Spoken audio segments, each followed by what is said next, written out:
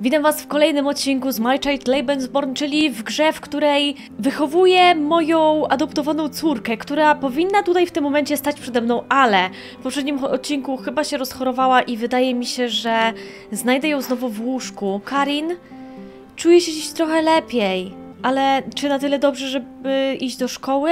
Na wszelki wypadek powinnaś zostać w domu jeszcze jeden dzień. Dziękuję. Miłego dnia w pracy. No, dziękuję. Mam nadzieję, że to była dobra decyzja, że wiecie, że nie przytrzymuje Karin w domu pomimo tego, że jest zdrowa. Yy, Myślę też, że należy jej się trochę odpoczynku po tych sytuacjach, które e, przydarzały się jej w szkole poprzednim razem i które możecie zobaczyć w poprzednim odcinku. E, No i też myślę, że w gruncie rzeczy mogła rzeczywiście się rozchorować po tym, co ją spotkało. No mam nadzieję, że będzie lepiej, że już następnego dnia pójdzie do szkoły. Zobaczmy, czy coś nowego w sklepie mamy do jedzenia. Mm, Dalej mamy tę kapustę i tą baraninę, ale to wcale nie jest takie pożywne. Chyba te kanapki z salami są najlepszą opcją, e, na ten moment przynajmniej. W takim razie zrobię sobie dodatkowy zapas e, i zobaczmy, czy Karin... Karin dalej leży w łóżku. Teraz czuje się o wiele lepiej. Szkoda, że nie widać tego po twojej minie. Umyjmy się. Okej, w końcu Karin zaczyna zgłaszać takie, wiecie, potrzeby swoje i że to już nie jest tak, że to ja decyduję, kiedy Karin się myje, e, a kiedy je, tylko teraz ona już w sumie e, mówi sama o tych swoich potrzebach. To chyba świadczy o tym, że zaczyna dorastać powoli. Pora już spać? Fajnie byłoby czegoś posłuchać przed snem. Czy masz czas? W sumie mam czas i mam nadzieję, że wystarczy mi też energii, żeby naprawić sukienkę, bo w sumie zapomniałam e, się w ogóle za to zabrać. Wspaniale, dzięki. Ale zanim to zrobimy, no to poczytam Karin e, tak, żeby po prostu dobrze jej się spało. No ale konsekwencją tego jest to, że już niestety dzisiaj nie uda mi się e, zszyć tej sukienki, więc muszę pamiętać o tym w kolejnych dniach. Czekajcie, przerwę tutaj na chwilę, ponieważ nie wiem, czy słyszeliście, ale do 30 czerwca trwają Intel Gamer Days, czyli dni promocji dla graczy, podczas których można skorzystać z bardzo fajnych ofert. M.in. laptopów, PC-ów czy podzespołów, które pozwolą nam złożyć nowy komputer albo odświeżyć nasz aktualny sprzęt. Wśród laptopów znajdziecie m.in. Acera Nitro 5. Dla miłośników komputerów stacjonarnych znajdzie się też wiele gotowych zestawów z różnego pułapu cenowego, a jeśli tak jak ja wolicie złożyć coś sami, to promocją objęte są też procesory Intel Core i5, i7 i i9 12 i 13 generacji, więc myślę, że nawet najbardziej wymagający gracz znajdzie coś dla siebie. Osobiście sama od lat używam procesorów tej marki i uważam, że są one niezawodne. Pod względem wydajności sprawdzają się zarówno podczas grania, nagrywania, montowania odcinków, renderowania ich e, i pracy w wielu programach graficznych, których używam na co dzień. Dodatkowo w zestawie z kartą graficzną Intel Arc A750 procesory możecie kupić jeszcze taniej. A sama karta ma 8 GB pamięci, napędzana jest procesorem graficznym Arc Alchemist, zaprojektowanym w celu zapewnienia wysokiej wydajności i efektywności. W swoim działaniu wykorzystuje nowoczesne technologie, takie jak Intel X i SS, czyli skalowanie wspomagane przez sztuczną inteligencję w zakresie FPS-ów i wysokiej rozdzielczości. W połączeniu ze zgodnymi procesorami Intel Core, dzięki Deep Link Technology zyskamy jeszcze lepszą wydajność i współdzielenie mocy. Myślę, że jest to świetna okazja do kupienia w korzystnej cenie karty, która zbiera pozytywne opinie i może się sprawdzić w rozsądnym cenowo komputerze. W przypadku niektórych ofert możecie też otrzymać przedpremierowo klucz do gry Nightingale, czyli survivalu osadzonego w otwartym, baśniowym świecie, utrzymanym w quasi-steampunkowym klimacie. Dajcie znać w komentarzu, w jaką grę zagralibyście, gdyby nie ograniczył Was w żaden sposób Wasz sprzęt komputerowy i zachęcam do skorzystania z promocji, które oferuje Intel Gamer Days. Oczywiście link znajdziecie w opisie. A teraz wróćmy do odcinka. Chyba Karin znowu źle się czuje, albo dalej źle się czuje. Karin? Chyba nadal źle się czuje. Trochę źle się czuje, tak troszeczkę. Muszę iść do szkoły. Nie zmuszę cię. Dziękuję. Mój wybór ocieplił moje relacje z Karin. Bardzo fajnie, dawno nie widziałam tego komunikatu, a bardzo mnie to cieszy. Fajnie byłoby, żebyś za to śniadanie, ale wiesz co, dam ci jedzenie dopiero po pracy, bo muszę już iść. E, czekajcie, bo coś przyszło tutaj, jakieś wiadomości. List również przyszedł. No dobra, w takim razie może jakieś dobre wiadomości przeczytamy Karin po pracy. No ale tak jak mówię, najpierw obowiązki, najpierw pójdę do pracy e, i zaraz sama jestem bardzo ciekawa, co to e, do nas przyszło. Och, cieszę się, że wróciłaś, a ja cieszę się, że wstałaś z łóżka. I mamy kolejny list. Pan Berg, bardzo mi przykro, że Karin była dręczona w szkole. Przez ostatnie trzy dni nie było jej w szkole, co mnie martwi. Zapewniam, że postaram się ją chronić przed łobuzami. Bardzo miło, że y, pan Berg napisał taką notatkę. Co to jest? Co tam jest napisane? Twój nauczyciel jest zaniepokojony tym, że opuszczasz zajęcia. Naprawdę? Och, opuszczanie zajęć może zaszkodzić twojej przyszłości. Nie chcę tego.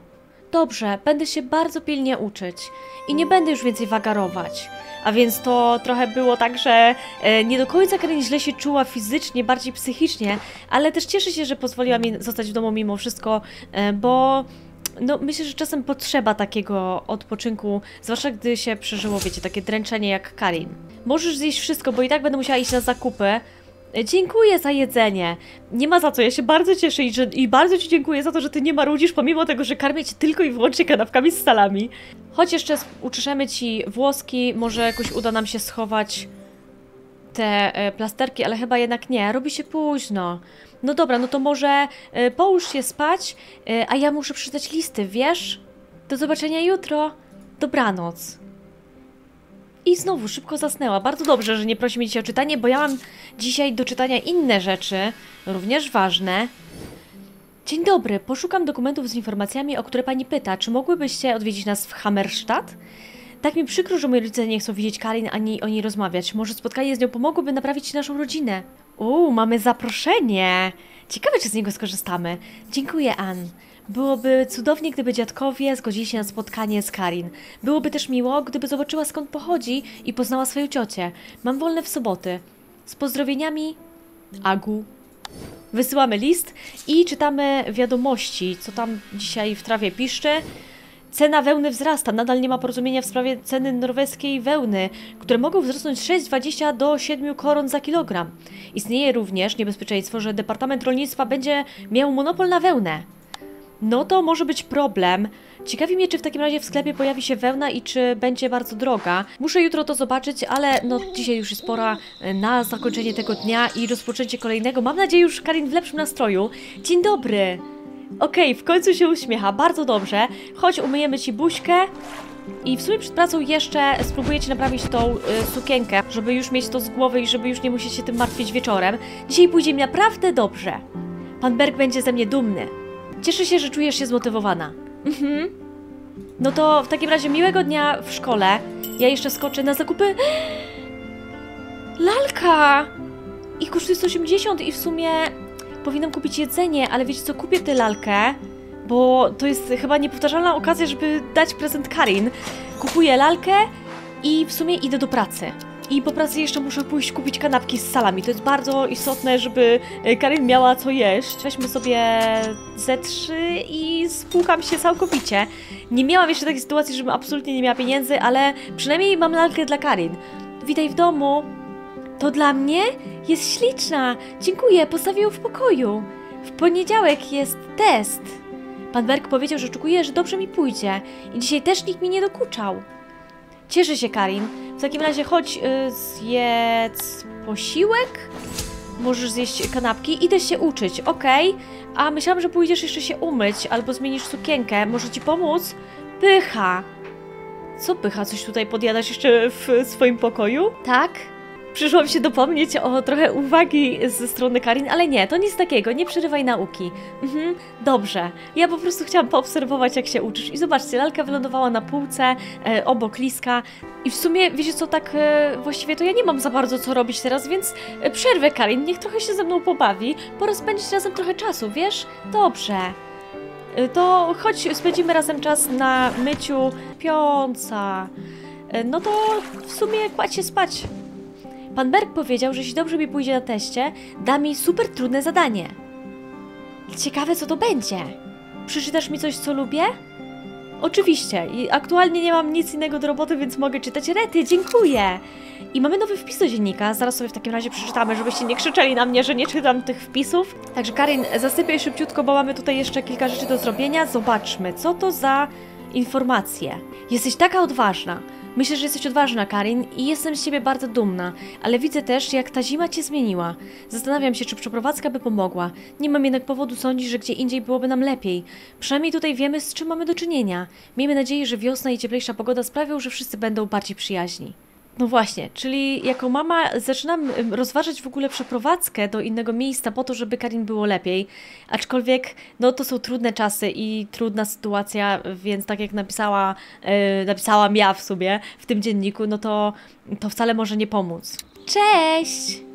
Cieszę się, że Karin jesteś taka uśmiechnięta już od samego rana. Dzień dobry, proszę bardzo, śniadanko. Muszę odrobić lekcję. O, o, fajnie, że jesteś taka pilna. Dobrze, odrabiaj w takim razie.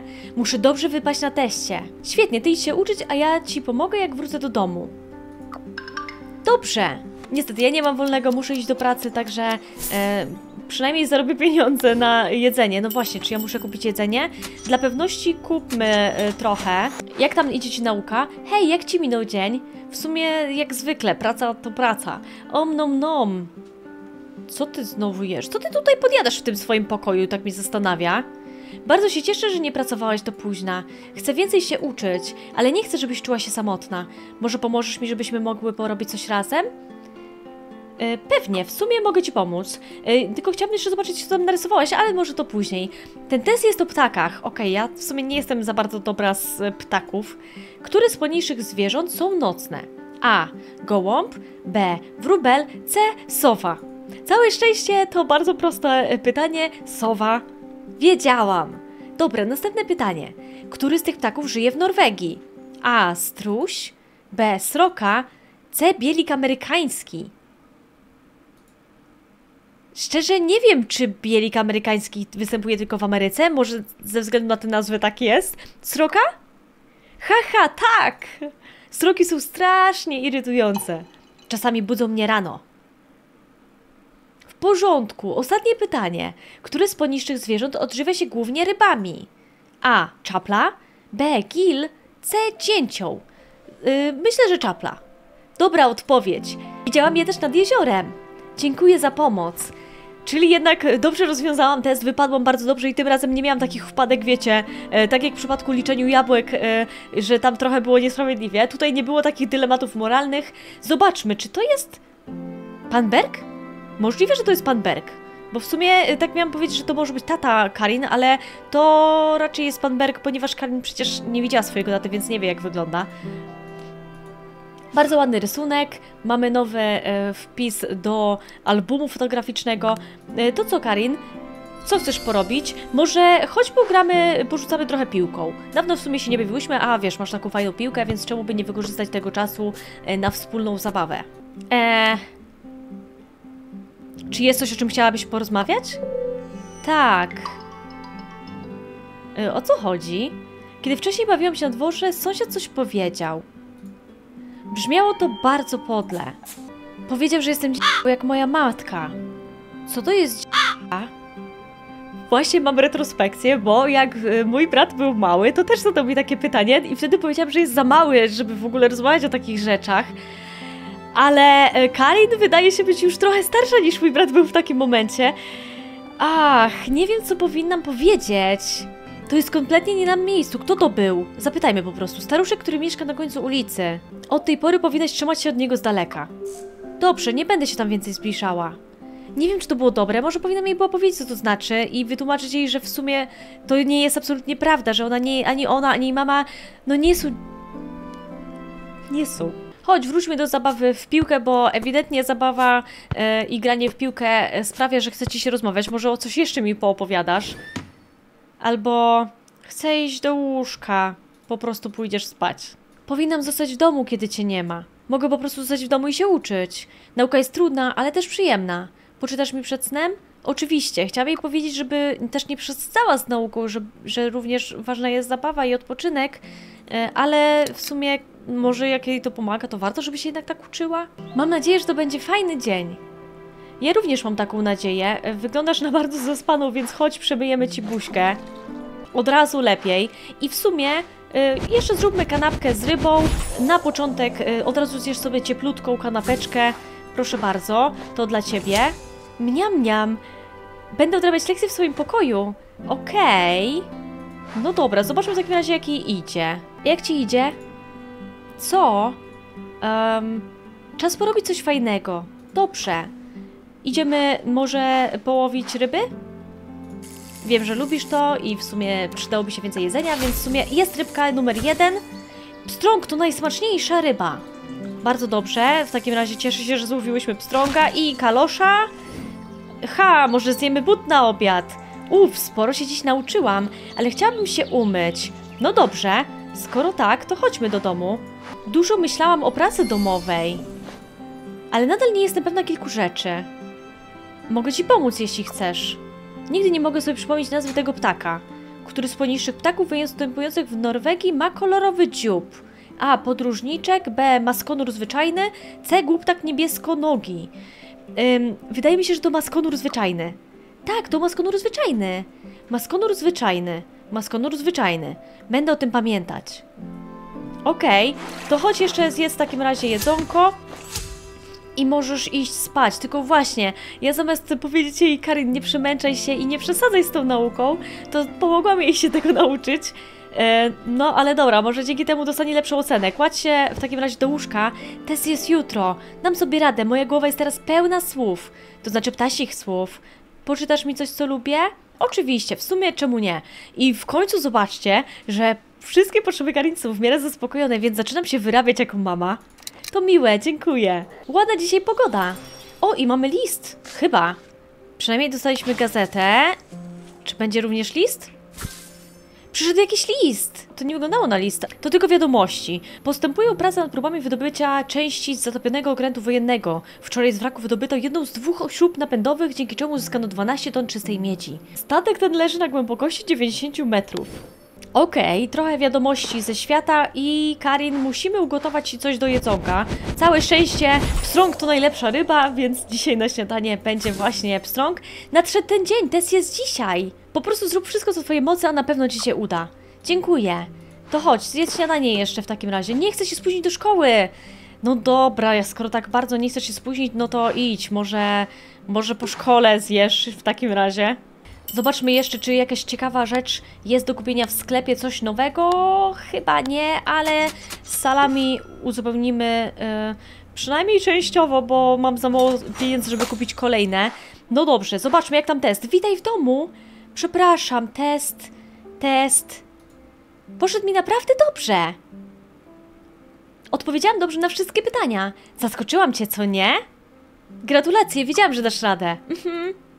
Możemy się pobawić? Świetny pomysł, może porysujemy? Tak. O, w końcu coś innego. Narysujemy szkołę dzisiaj. Bardzo ładny rysunek szkoły, tym razem bez dzieciaków prześladujących Karin. Chodzimy w takim razie posiłek. I już niestety nie zdążę cię umyć, ale może rano. Bardzo się cieszę, że pan Berk mnie lubi. To irytujące, gdy inne dzieci są głośno. Zasłużyli na to, gdy ich skarcił. Nie jest złośliwy, po prostu uważa, że szkoła jest ważna. On mnie nie strofuje, a ja nie zachowuję się tak głośno. Chyba się zaprzyjaźniliśmy. Kto by cię nie lubił, maluchu? Lekcje i nauka są fajne, ale inne dzieci i dorośli nie są fajni. Ważne jest, aby skupić się na pozytywnych rzeczach w życiu. Nie wiem, jak sobie radzić w szkole. Fajnie by było czegoś posłuchać przez ten masz czas. Yy, wiesz co, przykro mi, ale dzisiaj jest za późno, Karin. Oj, no to dobranoc. Chciałam jeszcze ugotować posiłek e, na następny dzień, yy, bo wydawało mi się, że mam coś do ugotowania, ale chyba jednak nie mam zupełnie nic do zrobienia. Czyli mogłam jej poczytać, ale okej, okay, gasimy światło i kończymy kolejny rozdział. 45% optymizm, 30% asertywność, 25% otwartość. Nie wiem, czy to dobrze, dajcie znać, jak wy uważacie. Ja i 57% graczy zachęcaliśmy Karin, by radziła sobie z różnymi sytuacjami. Ja i 62% graczy nie doradzaliście Karin zostania w domu. Ja i 71% graczy podzieliliśmy się informacjami o ojcu Karin. Także moje wybory były takie jak wybory większości. Zobaczmy w takim razie, jak będzie wyglądał następny rozdział, co nas tutaj spotka. Proszę bardzo! Dużo czasu minęło, jest już maj. Mamy wiosnę. Jestem, dzień dobry. Jest wiosna. Wszystko w porządku? Wszystko jest super. Pan Berg pozwala mi wracać do domu 15 minut przed innymi. W ten sposób mogę uniknąć zaręczycieli. Oszukujemy łobuzów, haha! To miło z jego strony. Tak, dobrze się dogadujemy. Mamy list. Ale wiesz co, zanim go przeczytamy, to chciałabym e, po prostu e, umyć cię, bo widzę, że potrzebujesz tego. Albo chociaż zmienić sukienkę. O, czekajcie, bo nie tylko wiadomości, ale rzeczywiście list również przyszedł. Spójrz, ile listów! Zaraz zobaczymy. Dobra, umyj się. W sumie potrzebujesz trochę mycia. Potrzebujesz też jedzenia. O, i obrazek mamy. Rybka. Widać ewidentnie, że Karin lubi rybkę, chociaż dawno nie jadła rybki z ziemniakami. Yy, ale skoro narysowałaś rybkę, to proszę, możesz zjeść rybkę i w sumie możesz zjeść też kanapkę z salami. Ruszaj do y, szkoły. Ja pójdę do pracy i od razu zobaczcie przyjemniej, tak kwiatki już na łąkach. E, Droga do pracy i do szkoły jest zdecydowanie przyjemniejsza niż taka, wiecie, w śniegu. Wszystko już jest pięknie zielone. Zobaczmy, co możemy mo kupić. Mamy znowu ser, bo prawdopodobnie zwierzęta ruszyły na pastwiska, więc możemy teraz kupić kanapki z serem. I w sumie kupimy dwie i wrócimy do domu. Może pójdziemy na jagody dzisiaj. Och, cieszę się, że wróciłaś. Przygotowywali się dzisiaj do 17 maja, naszego święta Konstytucji. Wkrótce wszyscy będą świętować i pójdą na paradę. Szkoła ma własne miejsce w paradzie. Hej, może powinniśmy kupić jakieś flagi? Tak jest! Nie mogę się doczekać parady. Y, No to muszę odkładać pieniądze. Chodź pójdziemy y, zmienić ubranie, bo twoja sukienka już jest strasznie brudna. Och, prawie zapomniałam. Znalazłam to pływające w rzece. Może uda nam się coś z tego zrobić? O, Karin, dziękuję Ci bardzo, chociaż nie powinnaś się włóczyć przy rzece sama. Ale zobaczmy, co przyniosła nam Karin, co możemy zrobić z tego. Kawałek deski. Dobra, spróbujmy coś z tego wyrzeźbić. Jestem bardzo ciekawa, co z tego wyjdzie, ale dzisiaj się o tym nie przekonam. Mogę iść spać? Możesz, kładź się. Dzisiaj było w porządku. Pan Berg pomaga mi bronić się przed dręczycielami. Bądź silna, Karin. Będę. Mój wybór ochłodził moje relacje z Karin! Poczytasz mi przed snem? Jest już za późno, Karin. Och, w takim razie dobranoc. Mam nowy wpis w dzienniku. W takim razie przeczytajmy od razu te wszystkie listy e, i wpis do dziennika. Zaczynając od listów. Czy to odpowiedź... To, to prawdopodobnie odpowiedź od cioci e, Karin. Dzień dobry, proszę przyjechać 10 maja. Przesyłam bilety kolejowe, czekamy na was! Wow, tego się nie spodziewałam i dobrze, że przysłała bilety, bo nie za bardzo byłoby mnie na nie stać, zwłaszcza, że muszę kupić flagę. Zobaczmy w takim razie jeszcze wiadomości. W ramach próby zwiększenia ilości drewna rąbanego przed zimą, szwedzkie władze zdecydowały, że każdy, kto w wolnym czasie porąbie więcej niż 15 metrów sześciennych drewna, będzie mógł kupić o 250 gramów więcej kawy. To jest coś dziwnego, ale okej. Zobaczmy, co napisałam w dzienniku. Twoja ciotka nas zaprasza. Myślę, że spotkanie z kimś z twojej rodziny dobrze ci zrobi. Fajnie też będzie przyjechać się pociągiem. Miejmy nadzieję, że ten wyjazd do dziadków będzie miły i może też się stanie początkiem bliższych relacji. W takim razie nie mogę się doczekać, aż powiem o tym Karin, że będzie mogła pojechać do swojej rodziny i poznać ją. Gaszę od razu światło, żeby rano powiedzieć od razu Karin o tym. Mam nadzieję, że jej od razu powiem. I w sumie jest 6 maja, więc to tak naprawdę zaraz już będziemy jechać. Dzień dobry, jestem gotowa na dzisiejszy dzień. I mamy kolejny list. Rada Sąsiedzka. Ostrzegamy, że nie chcemy widzieć dziecka zdrajca na naszym Dniu Konstytucji. Trzymajcie się z daleka. Strasznie to niemiłe. Eee, no, ale spróbujmy jeszcze zrobić przed szkołą coś z tego drewna. Nie wiem w sumie jak co. Jeszcze, jeszcze nie wiem, ale dobra, zjedz Karin kanapkę z serem, jedną i drugą, które też dają mało, więc chyba jednak powinnam dalej kupować kanapki z salami. I możesz ruszać do szkoły. I w sumie nie powiedziałam jej jeszcze o tym, y, że będziemy wyjeżdżać, więc może po szkole jej o tym powiem. Zajrzyjmy, czy jest do kupienia flaga, jest do kupienia samochód. Chciałabym jej to dać, więc w sumie może się uda, będę odkładała pieniądze. Hej, jak ci minął dzień? Wszyscy w szkole mówią o paradzie 17 maja, to będzie tak ekscytujące. Mamy jakieś flagi? Eee, I teraz się zastanawiam właśnie, czy powinnyśmy mimo wszystko wziąć udział? Na pewno chcesz iść na paradę? Chcę, chcę! Założę moje świąteczne ubranie i będę machać flagami. Może uda mi się założyć wstążkę. Może uda nam się szybko wpaść. Co masz na myśli? Nie możemy zostać na całą paradę? Czemu nie? Pamiętasz tych wrednych ludzi, o których rozmawiałyśmy? Och, pamiętam. Może tam być niebezpiecznie. To niesprawiedliwe. Mój wybór ochłodził moje relacje z Karin. I nie chciałam tego, Karin, przepraszam, to nie moja wina. Ja chcę tylko dać ciebie jak najlepiej. O, mamy kolejny rysunek. Potwór z rzeki. Mamy kolejny wpis do albumu. I wiesz co, Karin? Nie za bardzo mamy co jeść. Czy możemy pójść łowić ryby nie możemy ani do lasu, ani nad rzekę, więc kurczę, muszę kupić ci jedzenie, zanim umrzesz z głodu. Weźmy jedną kanapkę z salami, tylko jedną, bo zbieram na samochód i chodź, zanim, zanim padniesz, zjedz sobie kanapkę i chciałabym się z tobą pobawić trochę, więc pograjmy razem w piłkę.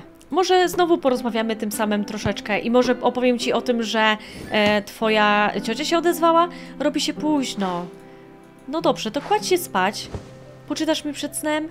Oczywiście, w sumie czemu nie? W takim razie czytam i następnym razem wybierzemy się na wycieczkę, także jeśli jesteście ciekawi kolejnego odcinka, to zostawcie suba z dzwoneczkiem, żeby nie pominąć powiadomień. Jeśli Wam się podobał odcinek, pamiętajcie też o ławce w górę. Zapraszam Was na Instagrama, TikToka i Discorda. Wszystko znajdziecie w opisie i życzę Wam miłego dnia. Trzymajcie się.